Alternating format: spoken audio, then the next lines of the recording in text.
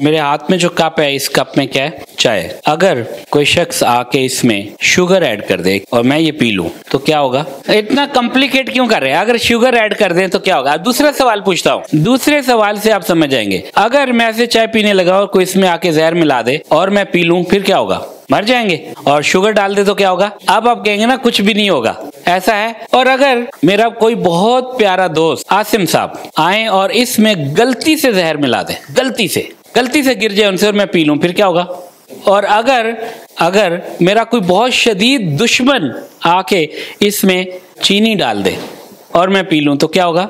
इसका पहला मतलब यह कि कि कौन आपको क्या हैंड ओवर कर रहा है? Number two watch your coffee watch your tea watch your cup ये एग्ज़ाम्पल देने का मतलब है कि जो हमारा माइंड है ना, दिमाग, इसमें बहुत सारे लोग आके बहुत सारा मटेरियल डंप कर देते हैं। तो एक बड़ा मशहूर फिक्रा है जो मैं आपके सामने बोलूँगा, उसको अपने जहन में बिठा लें। Stand guard at the gate of your mind एक गार्ड के तौर पे अपने दिमाग के दरवाजे के सामने खड़े हो जाएँ।